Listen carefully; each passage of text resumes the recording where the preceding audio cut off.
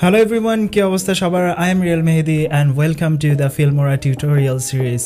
This video is gonna be so exciting because I will show you the perfect and effective way to use LUTs in Filmora for color grading.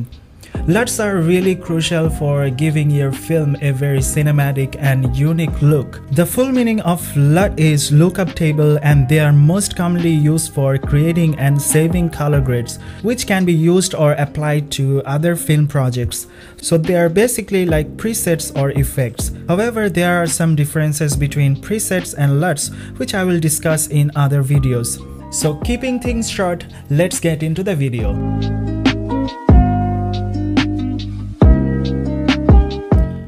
Alright everyone, if you want to follow along with this tutorial, you will need to update the Filmora to the newer versions. If you are using the older versions of Filmora like Filmora 8, you cannot get this feature.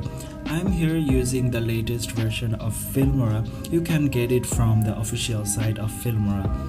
After you download and install, you are ready to go. First, we need to import the clips into our timeline.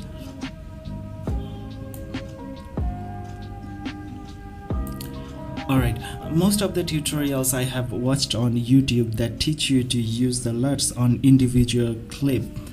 Uh, in this process, we need to double click on the clip that we need to color grade. Then after going to color tab, uh, at the bottom we can find the 3D LUT option. Here we need to select the LUTs that we want to use for color grading this process is quite okay, but the problem that I faced with this process that often the LUTs are too strong for my taste or for the clips. It made my clips either too much saturated or too dark or too bright. For example, we can see here the shadow part have become too dark and the highlight part have become overexposed. And here is no option to adjust the intensity of the LUTs and you know what? I requested Filmora too many times to add a feature where I can control the intensity of the LUTs I think finally they heard me and added a feature where I can use the LUTs as layers or on different timelines by this I can increase or decrease the intensity according to my taste and the most interesting thing is that you can combine several timelines of LUTs and create more interesting looks that was not available in the previous versions. So now let's see how to use the LUTs more effectively and more perfectly by using the latest feature of Filmora. I'm quickly undoing this so now for this process we need to go to the effect tab. Here we can find LUT. Click this little icon to expand the folder and in the color correction subfolder you will find the custom LUT now we will need to drag this onto the timeline which is above our main video timeline. Make sure this should be at the top timeline. Every timeline beneath this layer will be affected by the LUT. Now we will adjust this layer depending on how many clips we need to color grade. So this is another advantage that we don't need to use LUTs on every single clip individually then double click on this custom LUT layer. Now here we can use our LUTs. We can use the LUTs that are provided by Filmora or you can use your own LUT. For example, I have provided a free LUT you can check in the description box which you can download and install.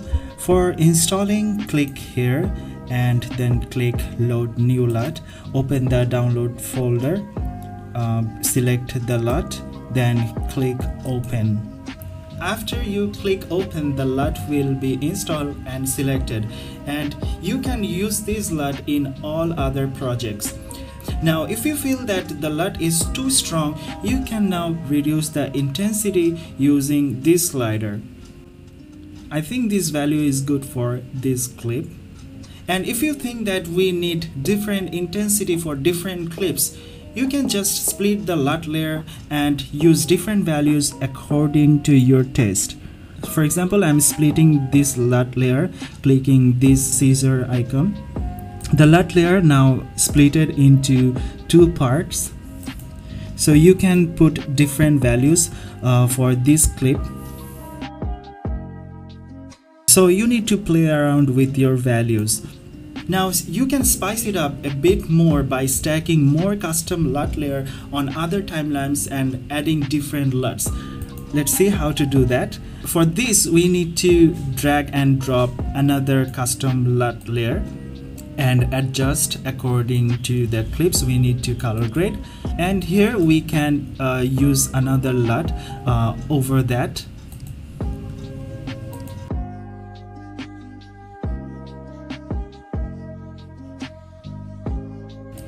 so this is the before and this is after.